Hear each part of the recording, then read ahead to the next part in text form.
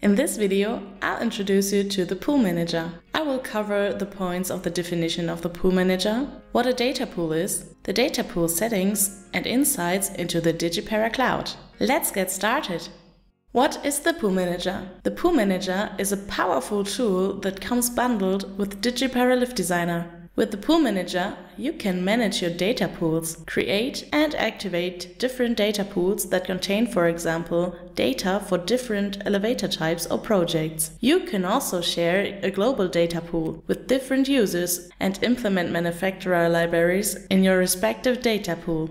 Let's learn what a data pool is. At first, we will launch the Pool Manager. Make sure that you've closed all other DigiPara Lift Designer applications. The data pool is created automatically during installation and is a list of folders that contains all necessary data required by DigiPara Lift Designer, for example, manufacturer libraries. The initial standard data pool location is C, Program Data, DigiPara 2022 DCC data pool. In the blocks folder, you can store, for example, DWG files, such as your title block and drawing border for your drawing sheet.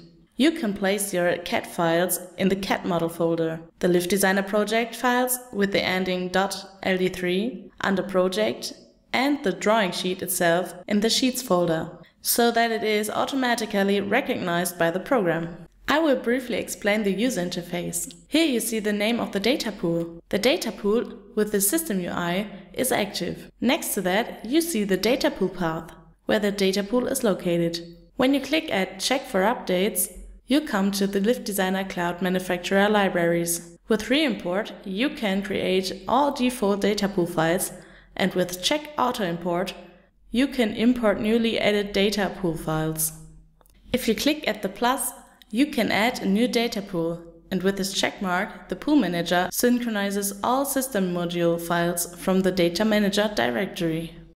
After getting to know the user interface, we create a new data pool. Therefore, click at the plus and add a data pool. Then you can decide if you want to create a new data pool or register an existing data pool. We will continue with Create a new data pool. Click Next. Now we can give the data pool a name and select the path for the location. Click Next, then Create, and the new data pool gets created. The next step is to activate the new data pool. Click on the button Make System UI and then Yes. Only one data pool can be set active at a time. Now let's register an existing data pool. Click again at the plus and add a data pool. This time we select Register an existing data pool. At Next, we select a name and the respective database. Find the main database file in the data pool directory, for example, C DigiPara Lift Designer Training Pool Data LD50.mdf.